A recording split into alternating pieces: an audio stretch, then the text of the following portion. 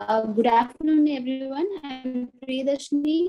Uh, doing, uh, so,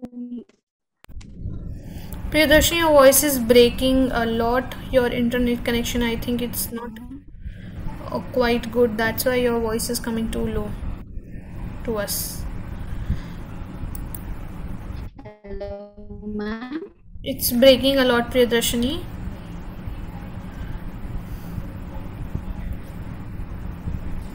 Uh, can you hear me now, ma'am? Yeah, I can hear you now. Can you start? Hello, can you? Uh. Your voice is not. Good afternoon, everyone. Uh, I'm Priyadashni. Uh, I'm doing first year MBA. Uh, I'm doing first year MBS. yes, can you uh, start now?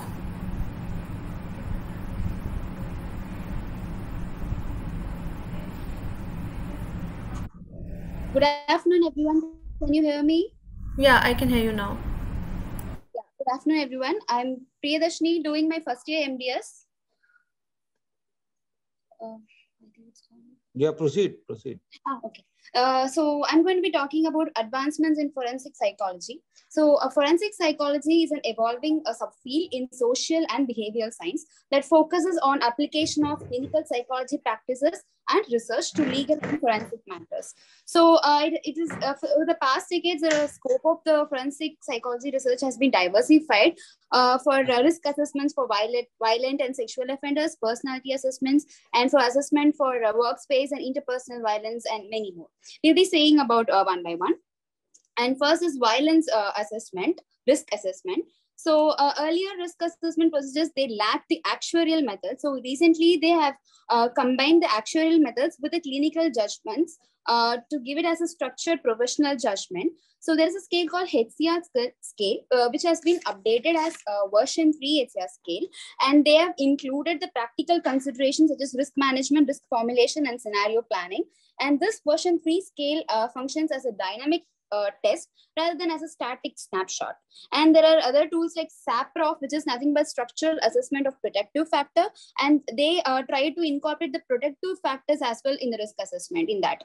And there's something called female additional manual. Uh, because most of the offenders are male, uh, the risk assessments have, uh, they remind as a gendered practice. So this female additional manual, they uh, incorporated the risk factors uh, for women as well because those risk factors uh, differ from men. And uh, going on to uh, violence treatment, earlier they used to use this anger, anger management program, but later they found that that was not sufficient uh, to uh, decrease the violence tendency. So the newest trend in the violence treatment is this multimodal program, which aim to supplement the cross-sectional uh, behavior treatment by increasing the length of the treatment and individualizing the treatment protocol.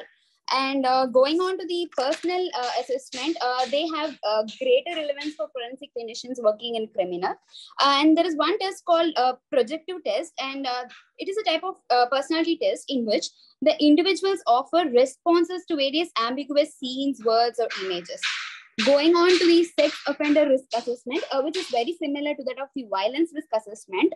Uh, here again, they are using various tools like uh, uh, statistic, static 99 uh, and then which has been updated to static 2 not 2002 here uh, then there are other tests like scales like violence risk scale sexual offender and structured risk sexual offender and uh, uh, assessment. And uh, they found that there are actually major three major constructs that were predictive of the sexual recidivism so these constructs has to be considered in all these tests they have to use. Those three are persistent paraphilic or pedophilic sexual interest youthful aggression directed towards stranger and gender criminality.